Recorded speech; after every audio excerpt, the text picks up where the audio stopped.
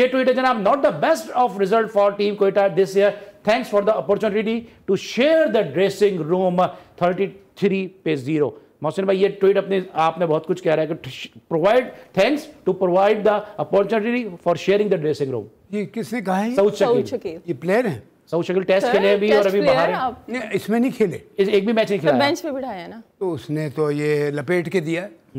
मैं dressing room मैंने share कर अभी टेस्ट के अंदर परफॉर्म किया लोग कह रहे हैं कि आसिम मुस्तफ़ा जैसा प्लेयर मिल गया हमें। नहीं देखिए अगर लेट्स से टेस्ट में किया है ट्वेंटी ट्वेंटी का प्लेयर नहीं तो आपने स्क्वाड में क्यों लिया? एग्जैक्टली सीधी सी बात 19 का कैप्टन है। और हाँ और दैट मीन्स यंग लड़का है फ्यूचर है इसका।